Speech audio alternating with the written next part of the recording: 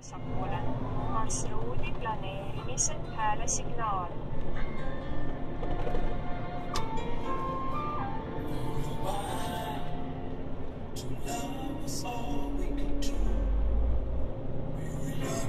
Te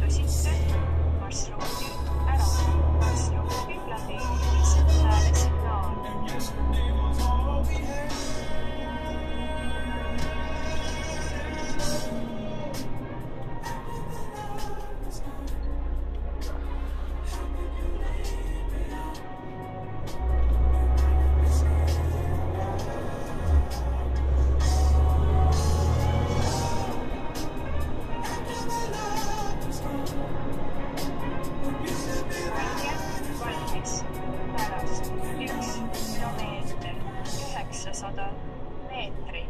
täispööre vasakule.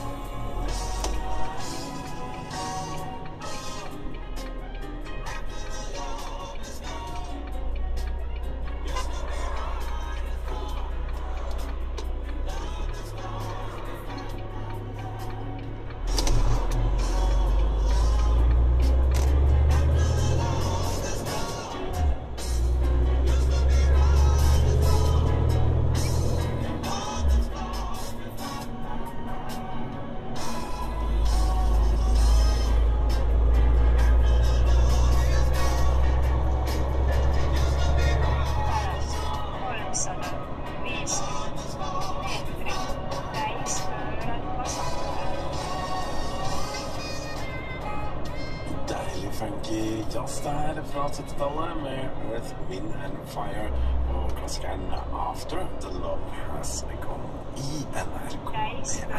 vasakule. Nei, nei, nei. Det er ikke et skikkelig smil. Det er bare luft i magen. Si gjerne folk overbærende hvis man koster at en baby som er under seks uker gammel, smiler. Men det får du ikke fra fra psykologiprofessoren som også skal få møte nå. Tvert imot. Hun forsker på hvordan spedbarnshjernen utvikler seg og har målt hjerneaktiviteten på flere hundre babyer. Og hun er så ofte undervurderer små menneskene. Hælesignal. Er fem måneder gammel. Nå får han på seg en elektrodehette. Et litt knitrende nett av runde elektroder sydd sammen tett i tett. for at ørene ikke blir krøllet. Sånn.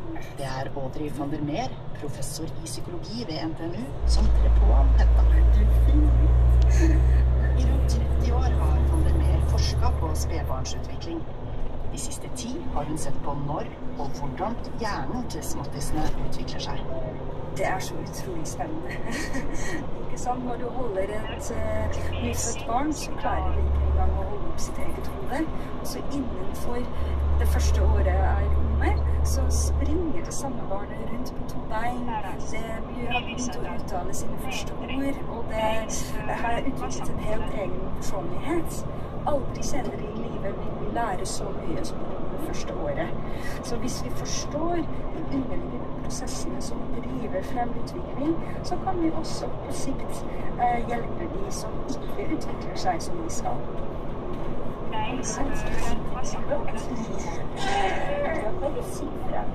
Luke blir spent fast i et bilsete foran en stor skjerm. Sensoren i hetta registrerer hvordan du oppfatter det han ser der. Så nå skrur jeg av lyset. Først ser Luke en slags eh, enkel vei i bevegelse.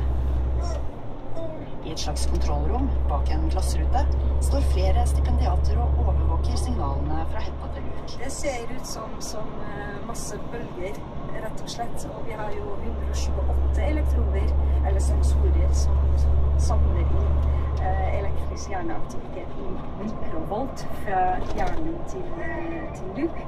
Og så må vi bruke mye tid for å lete etter mønster.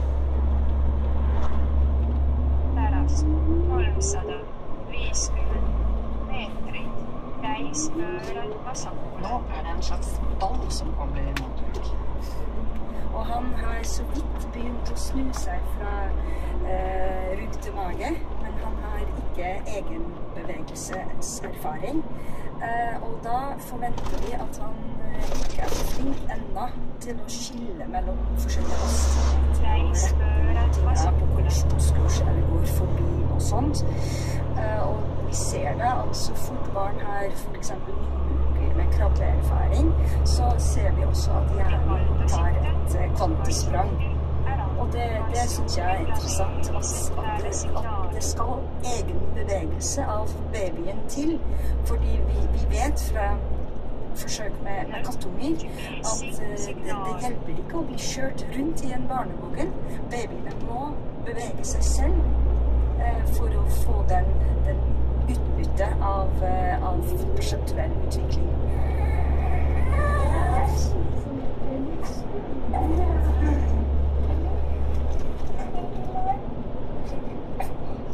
Nei, Da er det bedre med en bil som kommer og forsvinner og kommer og forsvinner, syns Luke. Vi eh, har en tendens eh, å undervurdere små barn fordi de ikke klarer å uttrykke seg muntlig. Ikke sant? De kan jo ikke snakke, og de bevegelsene ser kanskje litt klossete ut. Ikke? Armbevegelsene ser ut som litt beiving og sånt. Eh, men eh, jo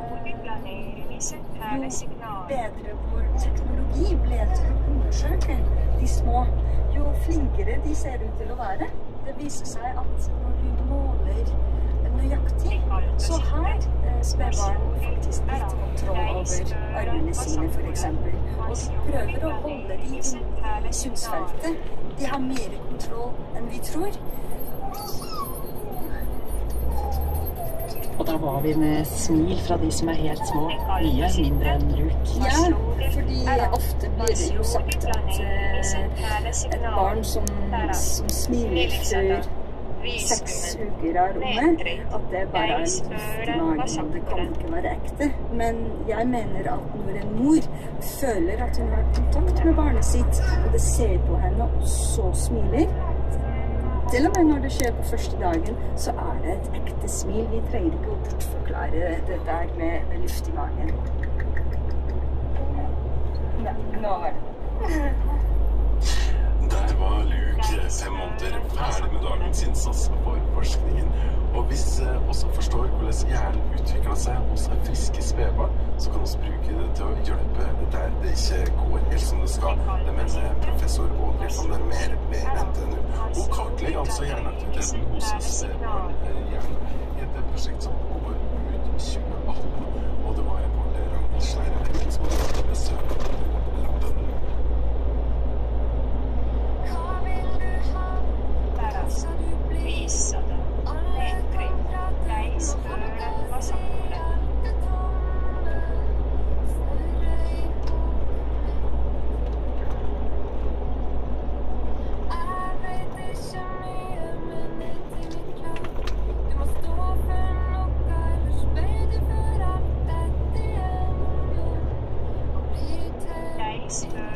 vasakule.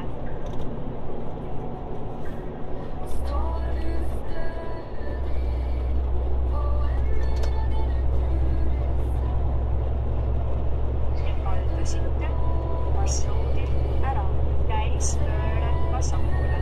marsruudi planeerimise häälesignaal. marsruudi planeerimise häälesignaal.